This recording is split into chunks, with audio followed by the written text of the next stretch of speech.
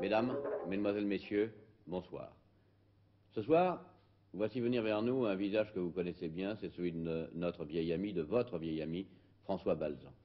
François Balzan, le coureur de piste, celui qu'on a trouvé au désert de Kalahari, celui qu'on a trouvé au Mozambique, celui qu'on a trouvé au Yémen, celui qui, à pied, parce que c'est nécessaire, a couru vraiment tout le monde de l'islam, tout le monde arabe, celui qui a cherché partout, et qui revient aujourd'hui avec une nouvelle histoire. Je dis histoire, car euh, François Balzan, vous avez le pouvoir de nous faire rêver, de nous faire retourner vers l'arrière, mais c'est vrai.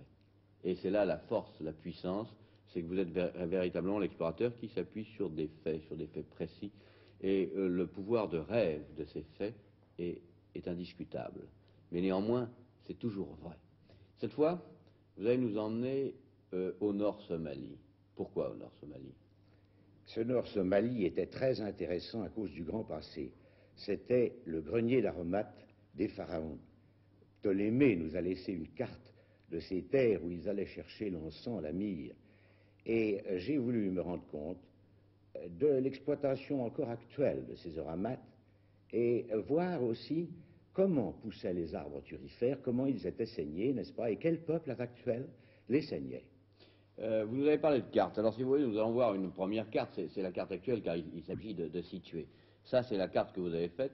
Euh, nous voyons d'un côté l'Arabie, de l'autre côté, euh, appelons ça la corne de l'Afrique, n'est-ce pas, le, golfe d'Aden que, nous voyons là. Et ce que vous avez grisé, c'est là où vous avez été, c'est-à-dire c'est la côte des aromates. Ce que j'ai grisé, est-ce que Ptolémée désigne sur ces très mauvaises cartes du deuxième siècle après Jésus-Christ comme l'aromatica, la région aromatique? Nous allons la voir, cette carte Vous allez la voir, de, de, Ptolémée. La voici. Voyez-vous Et à gauche, euh, le, vieil le vieux géographe gréco-romain a inscrit troglodytica, c'est-à-dire que les exploitants de l'époque des aromates étaient des troglodytes, des habitants de cavernes. Il était passionnant de revoir sur les lieux ce qu'il en était advenu. Et est-ce qu'on on a déjà fait des travaux là-dessus? Est-ce qu'on a vu ces gens? Est-ce qu'on a étudié leur commerce? Est-ce qu'il y a un mouvement, j'entends actuel Il y a un mouvement actuel d'aromates, c'est la seule ressource de ces peuples medjirtènes, de ces kamites actuels. Ils vivent de ça, ils, vendent, ces aromates sur les côtes, et cela leur donne, cela leur, donne leur très petit gagne-pain. Et bien entendu, euh, on peut y aller par la mer, car évidemment les, chemins de l'intérieur ne sont pas tellement faciles. Par conséquent, nous partirons nous aussi par la mer. Oui, il faut y aller par la mer, c'est ce qu'il y a de mieux et ensuite euh, prendre ses jambes.